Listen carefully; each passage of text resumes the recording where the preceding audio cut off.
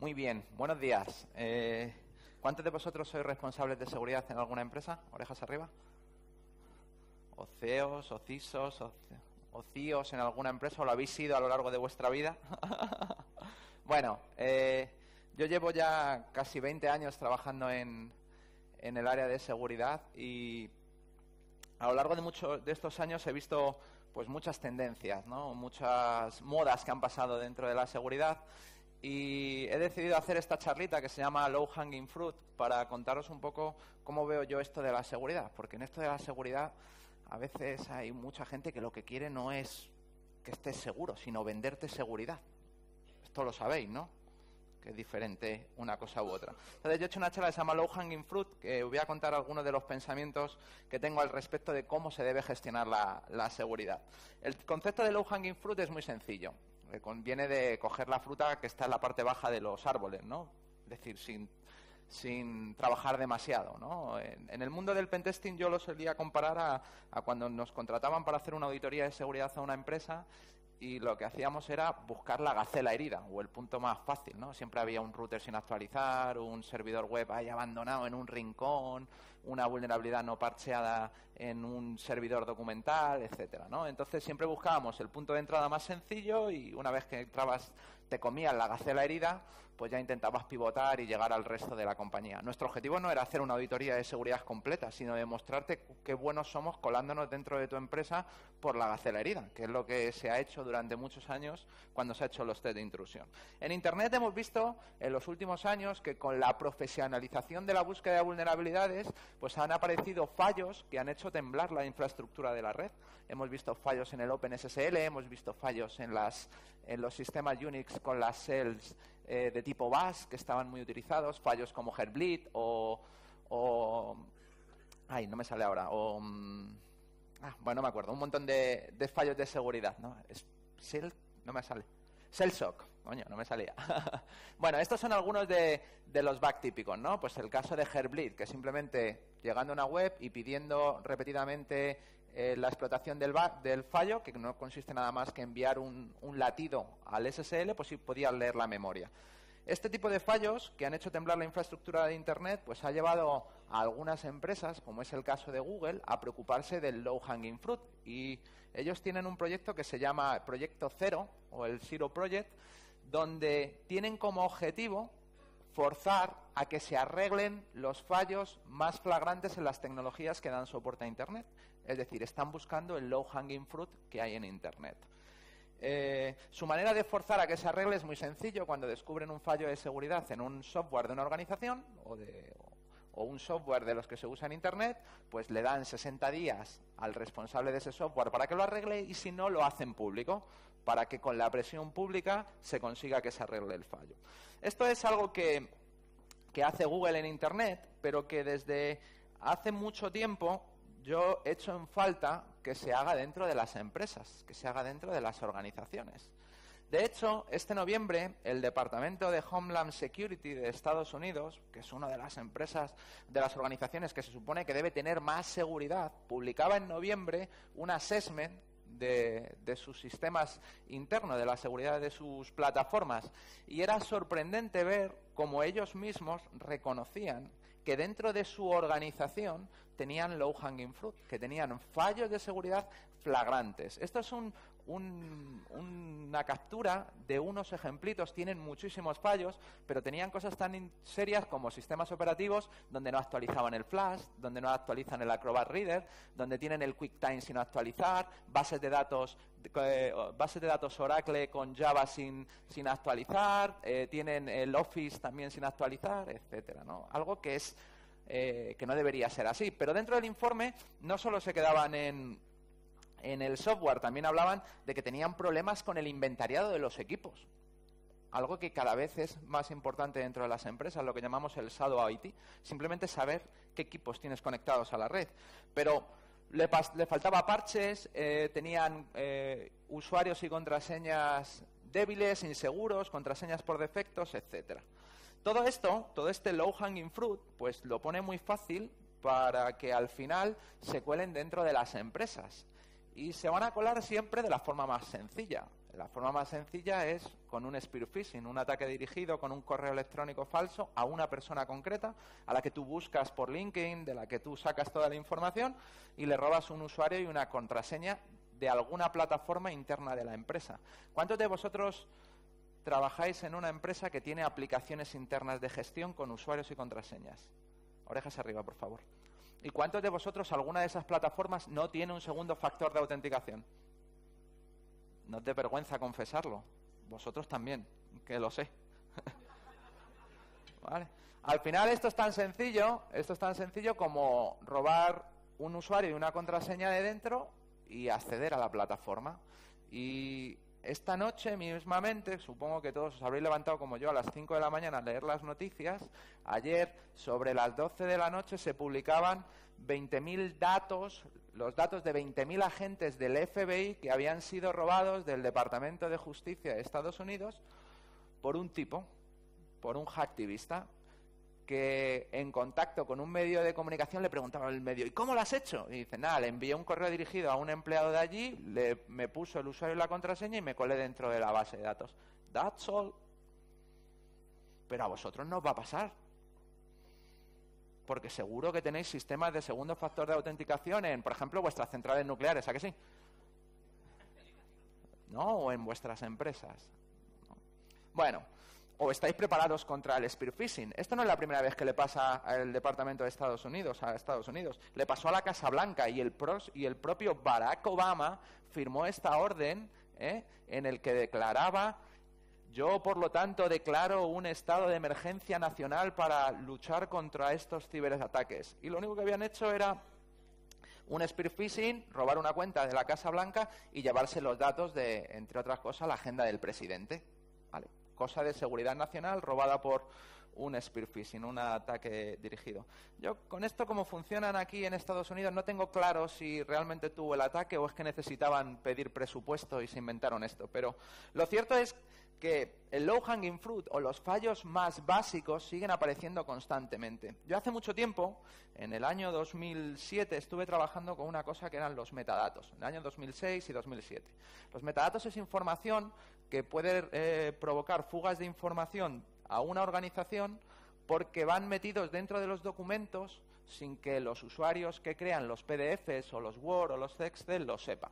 En vuestro caso estáis seguros porque nunca enviáis un Excel o un PDF a un, a un destinatario de correo electrónico sin haber limpiado antes los metadatos, ¿verdad? No me digáis que no tenéis una solución para limpieza de metadatos e información oculta. En Estados Unidos nosotros presentamos, yo presenté en Black Hat eh, la herramienta en el año 2007 y sacaron ese mismo año, un poco tiempo después, eh, este programa, el programa Clear, cuyo objetivo es limpiar los metadatos. Sin embargo, yo he estado mirándolo esta mañana y he dicho, a ver si todavía lo tienen. Site, em, vamos a buscar en en army.mil, por ejemplo, army.mil, documentos de tipo PDF que en el título tengan C users, a ver qué sale. Bueno, si os lo fijáis, en site... Eh, no, espérate. Ex. Espérate, a ver que lo haga bien. Un segundito, lo saco esta mañana, así que no me puede google.com. Site army.mil xpdf in title, ah, esta es, eh, C users. Bueno, ahí lo tenéis. Simplemente buscando por documentos PDFs en los que no han limpiado los metadatos, pues aparecen los nombres de los usuarios, ¿no? Aquí tenemos a Charlie Knox, ¿lo veis? Jennifer Lee Taylor, Sulzbahn, este debe ser alemán, Charlie Knox, etcétera. Números identificadores internos, Olga.Elliot, William Gilmore, Ashley Akini, etcétera, ¿no? Información que se ha quedado ahí y se ha convertido en una fuga, una fuga de datos. Para un atacante es muy sencillito hacerse un diccionario de datos con los nombres de los usuarios simplemente buscando en Google, como veis, ¿no? Algo que, que una organización que además tiene un programa para limpiar metadatos como Clear debería tener resuelto. Esto todavía es mucho peor cuando vamos a lo de las apps. Ya sabéis que si no tienes una app, no, no estás en el mundo de Internet. ¿Cuántos de vosotros tenéis una app de vuestra organización? ¿Una app móvil de vuestra empresa? Un montón, ¿no?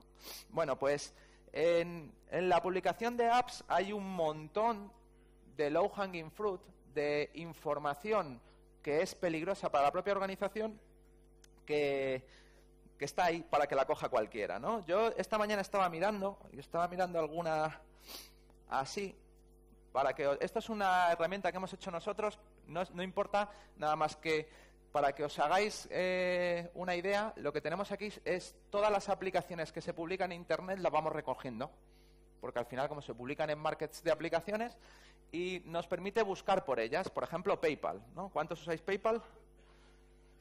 Vamos a buscar PayPal, ¿no? Vamos a buscar aplicaciones que sean de PayPal. Estaba yo mirando esta mañana. Vamos a un momento. Voy a que ha caducado la sesión. Bueno.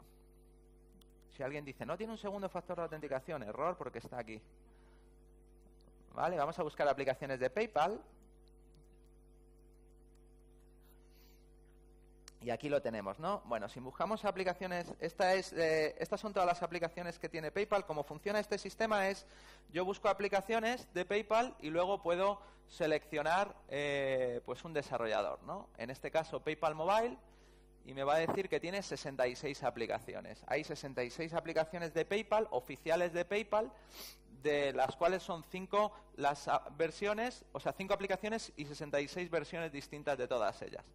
¿Vale? Hasta aquí normal todo esto. Sin embargo, si miramos eh, cómo están construidas estas aplicaciones, podremos encontrar que algunas de ellas están teniendo fugas de información. Vamos a buscar algo como links 192, 168.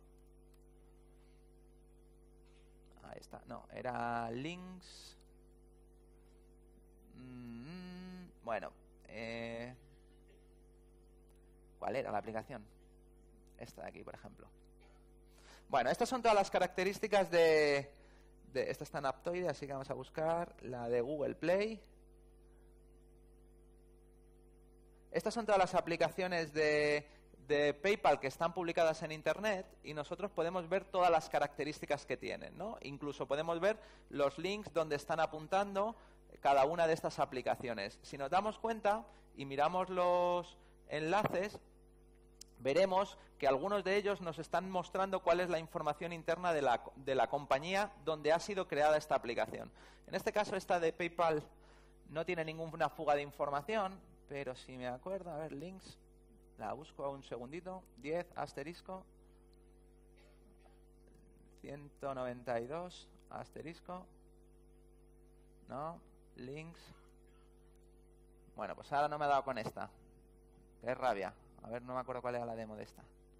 La acabo de hacer esta mañana a las 6 de la mañana y ahora no me acuerdo. 192, 10. No. Bueno, vamos a dejar eh, PayPal y vamos a hacer con otro. Por ejemplo, vamos a buscar organizaciones que tengan servidores que apunten a las 192, a las IPs 192, 168 asterisco y que tengan en el título banco, la palabra bank. Links. Ahí veis, tenemos 75 aplicaciones que dentro tienen eh, enlaces a aplicaciones internas. Algunas de ellas, pues como el Banco de Australia, ¿no? La aplicación del Banco de Australia. Y si miramos, nos está dando eh, cuáles son la infraestructura interna de la organización. En este caso, Aquí podemos preguntar ahora por el link y lo veis, tenemos el direccionamiento interno de la red y dónde están los servidores, etcétera. Todo esto es público, cualquiera puede acceder a ello. Os estoy enseñando links, que es como lo más fácil, pero es que la gente publica hasta sus contraseñas. Si miramos aplicaciones que tengan links a archivos con contraseñas, pues la gente tiene hasta los usuarios y contraseñas publicadas en sus enlaces. Miramos aquí, password, Aquí vemos que la gente, en este caso esta aplicación ha publicado la contraseña en un enlace de Dropbox y basta con ir a Dropbox y sacar la contraseña de la aplicación. Está ahí. No hay que hacer nada especial. Está ahí al ladito. Pero podemos encontrar todavía ataques, eh, ataques de, de, otro tipo, ¿no? Pues, a ver, por ejemplo, si miramos, vale, ¿cuántas aplicaciones de, por ejemplo, del ejército de tierra? Del ejército de tierra tenemos, vamos a ver, ejército de tierra. Bueno, tenemos aquí herramientas del ejército de tierra. Vamos a poner title ejército, que esté en el título. Ahí tenemos aplicaciones del ejército español, de la Guardia Real, eh, Soy Ejército, los grupos de operaciones especiales. Todas estas aplicaciones, aplicaciones que se la puede descargar una persona normal y corriente. Sin embargo, si miramos a la aplicación en detalle, ups, si miramos la aplicación en detalle, vemos que ninguna de ellas está hecha por el ejército español y que además la cuenta del desarrollador que lo ha hecho es una cuenta de Gmail. Es decir, no es una organización, no es el ejército de tierra, es una única persona que ha conseguido que miles de personas se instalen esta aplicación. ¿Cuántas de ellas pueden ser militares? Los que se hayan instalado esta app, pues un montón, ¿no? Y sabemos que estas apps no pueden tener un código malicioso o volverse maliciosas en el futuro. Pues no lo sabemos, ¿no? Y además, imaginaos que fuera un banco o una empresa vuestra, no lo voy a hacer con una, ninguna empresa española ni nada porque me parecería un poco feo, pero lo he estado probando y hay muchas, en las que la cuenta es un correo de Gmail, el desarrollador. Conseguir robar la app y volverla maliciosa para tu organización es tan fácil como robar esta cuenta de correo. Y podemos saber si esta cuenta de correo es segura o no. Y podemos saber quién está detrás. En este caso, yo voy a hacer una prueba muy sencillita que es simplemente ir a Gmail y saber quién está detrás de esta app, ¿no? A ver si es un tío de fiar o, no es de fiar. Eh, me voy a la cuenta de Google, le digo que no me acuerdo de la contraseña, no me acuerdo de la contraseña, que es verdad, no me acuerdo de la contraseña. ¿Vale? Le pongo el correo electrónico del colega y ahora me dice, fijaos el tío, ¿eh? Que está haciendo las aplicaciones del Ejército de Tierra Español, ¿eh? Tío totalmente de fiar, ¿no? Hay te da miedo, ¿eh? bueno, pregunta la última contraseña, no lo sé. Y aquí vemos quién es. Pues el tío este es una cuenta de correo que empieza por T, acaba en net, o sea, no tiene un segundo factor de autenticación, no está protegida. Y sin embargo, eh, pues tiene pinta de que como el usuario es Hands, pues esto probablemente es treehands.net, ¿no? Y si vamos a ver el dominio, pues el dominio no existe. O sea, esta app parece un poco turbia, ¿no? ¿A quién les parece sospechosa? No quiere decir que sean maliciosas, pero desde luego no sería una app de la que yo me fiaría a la hora de, ponerlo. Esto lo puedes hacer además para atacar a una organización. Voy a hacerlo, por ejemplo, con mis amigos del BBVA, que han puesto un sistema parecido a nuestro Latch, pero peor. Eh, y lo voy a hacer con nuestros amigos del BBVA, por ejemplo. Aquí tenemos las aplicaciones del BBVA y vamos a buscar cuántas de estas aplicaciones tienen una cuenta en la que dirección de correo sea de Gmail. Hombre, se puede hacer, ¿no? Pero no es lo suyo. Pero ahí está, ¿no? Pues por ejemplo tenemos cuentas de Gmail, ¿no? Están utilizando cuentas de Gmail en esta de, aquí, esta de Vida BBVA, por ejemplo, ¿no? Vemos aquí esta cuenta. ¿Estará segura esta, esta aplicación? Pues supongo que sí, ¿no? Miramos y hacemos el mismo truco. ¿Quién está detrás de esta cuenta? Vamos para atrás. Vamos para atrás. A ver, pues esta cuenta, gestión multicanal, pues está un tal Miguel, que es la persona que controla esta cuenta, es decir, al final esta, esta cuenta está detrás de estas personas y si le damos a no recuerdo mi cuenta, pues no hay un segundo factor de autenticación tampoco. Es decir, lo único que está protegida esta cuenta es con un usuario y contraseña. Si hubiera un segundo factor de autenticación, lo que nos aparecería es una información que dice no se puede recuperar esta cuenta sin el segundo factor de autenticación.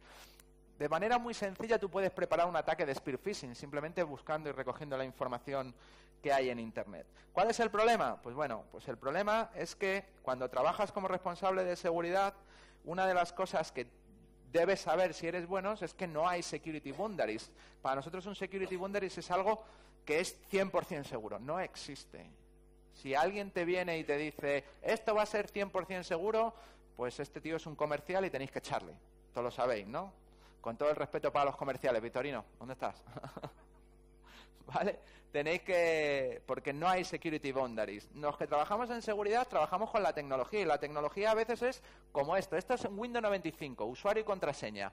No tienes el usuario y contraseña, le das ayudar, con el botón de ayuda, sobre el botón vas a imprimir la ayuda, te sale el panel de impresora, con el panel de impresora vas ahora a pedir otra vez ayuda, desde aquí buscas en el índice y una vez que buscas en el índice, pues ya consigues desde este panel abrir el, del, cuadro de diálogo y desde aquí File, Open, Desktop y ya está.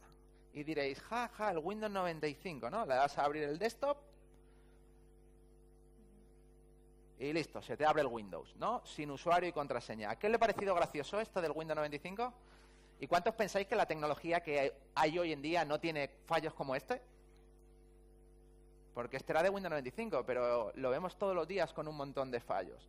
Sin embargo, los que trabajamos en seguridad todo el día oímos las palabras de moda, ¿no? El post-quantum cryptography, ¿no? sabéis que ahora hay una moda de que hay que cambiar todos los sistemas para cuando aparezcan los ordenadores cuánticos, porque todos los algoritmos de criptografía cuando aparezcan los ordenadores cuánticos, pues no van a servir para nada, porque se van a poder atacar por fuerza bruta, los famosos anti-APT, ¿no? Vamos, nosotros miramos los callbacks y te hacemos un anti-APT, un análisis de todo lo que pasa si el 95% de los ataques es un spear phishing con robo de usuario y contraseña? ¿Vale? Me voy a gastar un millón de pavos en un anti-APT cuando tengo spear phishing y usuarios y contraseñas dentro de la red. What the fuck, ¿no? Tema de machine learning, cyber resilience, todo es muy chulo. Yo tengo una idea de cómo forrarse en 10 sencillos pasos, ¿no? Lo primero es eh, arranca una compañía de tecnología se le eh, apunta a los límites de una tecnología de seguridad. ¿Quién piensa que los antivirus no valen para nada? Pues algo que se ha conseguido, ¿no? los antivirus. Pues si alguien piensa que los antivirus no valen para nada, estáis totalmente equivocados. Esto es como si tú te pones un casco. ¿Cuántos llevo tenéis moto? Y os ponéis un casco, ¿vale? Te pones un casco y agarras un cuchillo y te lo clavas en el corazón y dices, vaya mierda de casco. No hay security boundaries, no hay ninguna tecnología que te arregle todo. Los antivirus te reconocen el software que ya ha sido firmado, el software malicioso que ya ha sido firmado, que es mejor que nada. Te reconocen el noun malware. Y eso es mejor que nada. ¿Vale? Así que cada tecnología vale para lo suyo. Evidentemente, un segundo factor de autenticación tampoco te vale una mierda si te hacen un hijacking y te roban la cookie de sesión. No vale para nada. Pero eso no quiere decir que un segundo factor de autenticación no valga. Lo que hay que poner es todas las medidas de seguridad. Entonces, para hacerte rico, pues nada, eh, corre una compañía, selecciona los límites de la otra tecnología, por ejemplo, los antivirus no valen una mierda o el casco este no te vale una mierda, ¿vale? Llámala inútil, los cascos son inútiles como medida de seguridad, haz alguna tecnología, por ejemplo, el casco con medallón, ¿vale? Un casco con un medallón aquí, ¿no? Por este casco te arregla los golpes de cabeza y también los puñaladas en el pecho, porque lleva un medallón, ¿vale? Invéntate una palabra, por ejemplo, no se me ocurre, el medallicasco, ¿no? Viralízala, por supuesto, luego influencia a los analistas para que te hagan un cuadrante mágico donde solo aparezcas tú, porque eres el único, eres el innovator y el líder de esta tecnología. Vete a una oferta pública de acciones, después vende la tecnología a alguna compañía eh, y luego vende la compañía y go to one, ¿no? Vuelta al nivel 1 para volver a forrarte, ¿no? Y esto es algo muy típico y hemos ido pasando a lo largo de la historia por un montón de de palabras de moda en temas de ciberseguridad.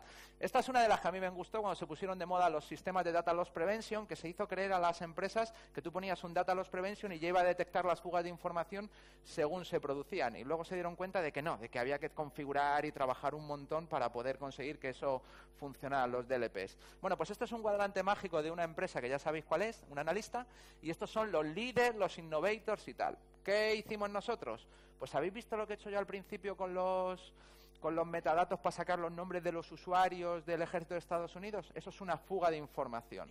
Pues como estos eran los líderes, nos fuimos a las páginas web de todos los líderes de información, descargamos todos los documentos y vimos cuántos tenían metadatos. Sorprendentemente, el 100% de los líderes en fuga en, Data Loss Prevention tenían fuga de información por metadatos y algunos, pues con 1200 eh, documentos, exponían hasta 528 usuarios. Y este me encanta, el DLP12 solo tenía un documento público, pero tenía metadatos. Toma ya al final, lo cierto es que en temas de seguridad seguimos año tras año teniendo los mismos problemas. ¿Cuál es el ataque más utilizado en aplicaciones web? En el OWASP 2013 seguía siendo el SQL Injection, un bug que fue descubierto en 1998. A día de hoy sigue siendo la forma más flagrante y más fácil de atacar y colarse dentro de una empresa. Pero es que el Department of Homeland Security en noviembre de 2015 en su documento de Security Assessment decía tenemos tres, aplicaciones web internas y estas páginas eran vulnerables to Structured query, eh, Language Injection, es decir, eran vulnerables a SQL Injection. A día de hoy. Así que, cuando tienes que decidir qué CSO quieres ser, pues tienes dos opciones, ¿no? ¿Eh? Ser Elsa o ser Ana. ¿Cuántos conocéis a Elsa y Ana? ¿Sí? Bueno, conocéis a Elsa es la reina de los hielos, que tiene poderes mágicos, es como Iceman de la Patrulla X, pero en mujer. Y, bueno, pues ella está, tiene un problema, ¿no? Tiene un, tiene un problema interno que no es capaz de controlar sus poderes. Entonces se autoconvence y se engaña de que está, de que lo controla y que no necesita hacer nada, hace un let it go, esto lo conocéis, el suéltalo, el let it go, y se va a lo alto de la montaña y se pone en su castillito y le cuenta al mundo que ella está muy feliz, que let it go, que let it go, que let it go. Pero no es verdad, está hecha una puta mierda. Y luego tiene que bajar a, llorar allí para pasarlo mal y sufrir, a darse cuenta que tiene que superar el problema. Esto es el momento de pretender que estoy segura. Me subo, me pongo mi castillito, eres un CSO, me he comprado un montón de tecnología chula, me he hecho mi castillito y me creo que estoy segura. Y luego está el otro CSO que sana, que no tiene poderes, que no tiene un puto duro de presupuesto y que tiene que subir la montaña de hielo sin superpoderes mágicos ni nada y tiene que ir patita a patita para subir y pegarse. ¿Vale? Entonces tú puedes ser pretender que estás seguro a base de hacerte un castillito de hielo o trabajar para estar seguro. Porque lo de pretender para ser seguro ya sabéis que no funciona, ¿no? Esto está muy divertido, lo de Andy Madison y los logos, ¿no? Que si alguien quiere yo le paso un kit de imágenes para que las ponga en su web, todas las que quiera, ¿vale? Con candado de todos los colores para ponerlo. La seguridad es algo mucho más serio que todo esto. La seguridad no va de marketing ni va eh, de nada para esto. A mí me encanta una frase que dijo Linus Torvalds en el año 2006 en una conferencia cuando le preguntaban por qué no entraba más gente a programar en el kernel de Linux. Y él decía, bueno, no somos los tipos más simpáticos, para empezar. Y en segundo lugar, es que el tiempo para soluciones sencillas a problemas sencillos hace muchos años que pasó. Y en el mundo de la seguridad es así. El tiempo de problemas sencillos, de soluciones sencillas a problemas sencillos hace mucho que pasó. Hoy en día, gestionar la seguridad exige gestionar personas, tecnologías y procesos para conseguir integridad, confidencialidad y disponibilidad y alcanzar un riesgo aceptable, porque nunca vas a alcanzar estar 100% seguro creando un sistema resilience, es decir, que soporte los ataques, incluso los fallos cuando tengan éxito, y además cumpliendo con la regulación y la y el, governance exigible las certificaciones. Esto es realmente gestionar la seguridad y no es fácil. ¿Verdad, Gonzalo, que no es fácil? Al final aquí no hay magia no tienes poderes mágicos como Elsa, no tienes un presupuesto, aunque tengas el presupuesto de Elsa y puedas hacerte tu castillo así, no te va a servir de nada. Aquí hay que trabajar. Esto, como decía Jay, es Science Beach. Esto es trabajo. ¿vale? Ya sabéis que el éxito, el único sitio donde llega antes que el trabajo es en el diccionario.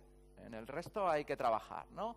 Al final, pues esto es fortificar los sistemas, fortificar a la gente, influenciar para que sean conscientes, porque si no vamos a tener Shadow IT o vamos a tener Shadow IoT, van a traerse sus propios gadgets, eh, hacerles conscientes de los riesgos, hacerles un, eh, un ataque continuo a los empleados para que entiendan que son víctimas de un ataque constante para que sean capaces de reconocer los spear phishing, luego fortificar los procesos, los proveedores te pueden atacar por tu cadena de suministro, el desarrollo de software, etcétera.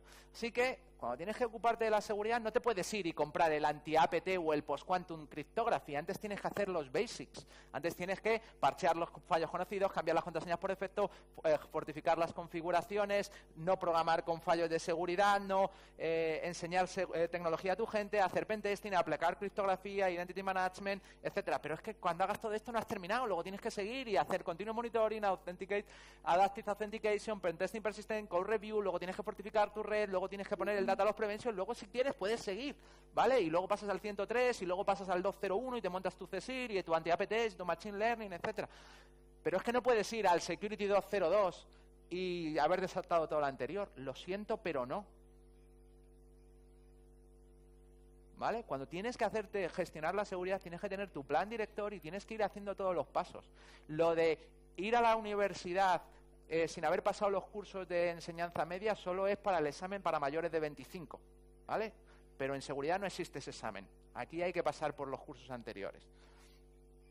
Y luego te puedes poner a hacer cosas de todo tipo, ¿no? Pues los hidden links de la red, hablábamos de las centrales nucleares antes ahí, de los USBs. Tú sabes cómo es el mapa de la red, dónde se ha pinchado cada uno de esos USB. Tienes un mapa de la red por sistemas de polinización o puedes investigar el malware, ¿no? Y ponerte y hacer copias de seguridad de toda tu red, de todos tus equipos en el pasado y eh, analizarlos cada vez que tengas nuevas firmas de software malicioso a ver si alguno en el pasado ha sido infectado, ¿no? Y te pueda decir, pues mira, pues este ordenador tenía un malware que en aquel entonces era desconocido, pero ahora es conocido. Así que sabemos que nuestra máquina estuvo comprometida meses atrás. O poner sistemas de pentesting persistente que estén 365 días al año, 24 por 7, hackeando o intentando hackear tu infraestructura.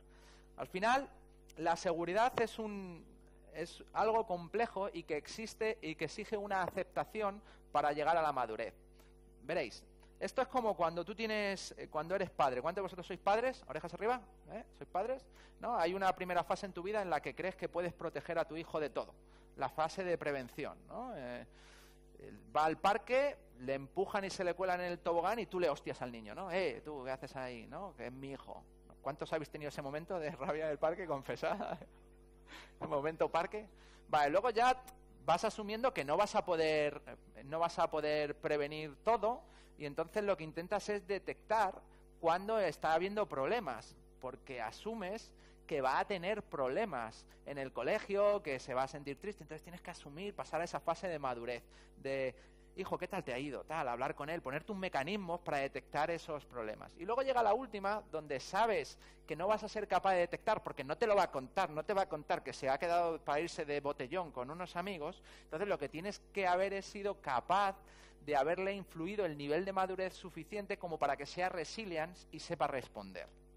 Pues en el mundo de la seguridad tenemos empresas que se basan en la prevención, que creen que van a poder eh, forzar a todos los usuarios a meter un pendrive por una máquina de limpieza de pendrive y que ninguno lo va a sacar y va a decir, va, pues este está limpio, ¿vale? O que van a poder prevenir todo con firewalls o con sistemas perimetrales. Luego tenemos el siguiente nivel, que son las empresas que asumen que el enemigo está dentro, porque está dentro. Si no es uno que se ha colado por la wifi más externa, es un usuario porque le han infectado ya el pendrive y lo tiene en el bolsillo infectado y solo está esperando que entre, o un empleado que se vuelve malicioso y listo. Y luego están las empresas que se preparan, preparan sus sistemas para, en el caso de que tengan éxito y asumiendo que van a tener éxito, asumiendo que van a tener éxito y que van a conseguir el objetivo de llegar a la base de datos de usuarios y van a llegar a hacer una discontinuidad de este, de este servidor o que me van a hacer un ataque de negación de servicio a esta línea, cómo debe ser mi sistema para responder correctamente, para ser resilient. Y yo siempre pongo el ejemplo de este verano con los coches. Sabéis que el verano pasado hackearon a Jeep, ¿cuánto lo sabéis? Sí, y también hackearon a Tesla, esto lo sabéis, ¿no? Hackearon a Jeep y hackearon a Tesla. Lo de Tesla, ¿quién no tenía ni puñetera idea? Vale. Bueno, pues os voy a contar la diferencia. Jeep le hackeó Charlie Miller y Chris Balasek, utilizaron una estación falsa 2G, eh, entonces cuando pasaba el coche, el coche se conectaba a la estación falsa 2G y desde la estación falsa 2G atacaban al, sistema del coche y le modificaban parámetros, como por ejemplo le paraban, etcétera. Cuando Jeep se dio cuenta de esto, dijo, hostia, tenemos que arreglarlo. ¿Cómo lo arreglamos? Pues ya está, le vamos a mandar un pendrive a todos los clientes que tengan este coche, ¿no? Entonces todos los clientes les llegó un pendrive con un libro de instrucciones, ¿vale? Por supuesto no consiguieron que nadie actualizara el coche, dijeron, no ha funcionado, pasemos a fase 2. Contrataron un call center, ¿vale? Formaron a todos los técnicos de los talleres de Jeep. Eh, después llamaron uno a uno a todos los clientes, concertaron citas con todos los talleres y los talleres se encargaban de actualizarlo eh, con el USB. Si echáis un poco cuenta lo que les costó la broma a los de Jeep, pues es caro. Les costó caro y a día de hoy no han conseguido parchearlo. ¿Por qué? Porque no estaban preparados para responder. En el caso de Tesla, el, el coche venía con actualizador automático. Salió el fallo, pusieron el parche en internet, 15 minutos todos los coches actualizados. That's all. Entonces, ¿está tu empresa preparada para responder o está todavía tu empresa en la fase de, de, prevenir? Así que, como resumen de todo esto, do the basics, ¿vale? Balancea entre physical security y digital security. Hoy en día vemos todavía muchas empresas que tienen un montón de guardias de seguridad puestos que están mirando por una cámara de televisión que vigila si la puerta del garaje se abre o se cierra, cuando no ha pasado nada en ese garaje en ocho años, pero tienen ahí una cámara y la puerta se abre o se cierra, y sin embargo no tienen a nadie mirando lo que está pasando en Internet. ¿Vale? Se gastan en seguridad física turnos de personas de 180.000 euros al año para hacer un 24 por 7 y en seguridad digital no se están invirtiendo nada, en gente que está mirando lo que está pasando en Internet que afecta a su empresa. Luego, do the basics. No te olvides de fortificar tu sistema, no te olvides de fortificar tu red, no te olvides de poner un sistema de identidad correcto do the basics, ¿vale? Repito, do the basics. Después, haz más que los basics. Pasa al siguiente nivel. Añade otros protocolos de seguridad. Sigue lo, lo, que ya conocemos en la industria que se debe hacer. No te saltes ninguno de los pasos. Si ya sabemos qué es lo que se debe hacer, sigue ese camino. No te inventes nada. Y por supuesto, ya cuando hayas hecho tus deberes y ya hayas pasado primero de BUP, segundo de BUP, lo siento para los más jóvenes, tercero de BUP, CO, ya te vas a la universidad y te compras Super eh, Fashion Technology, pero no lo hagas al revés. No te compres los libros de quinto de, Ingeniería Informática si no has aprobado todavía Matemáticas de tercero de BU. Y nada más. Eso es todo. Si alguien tiene alguna pregunta. ¿No? Pues nada, me he pasado cinco minutos, así que os dejo. Muchas gracias a todos.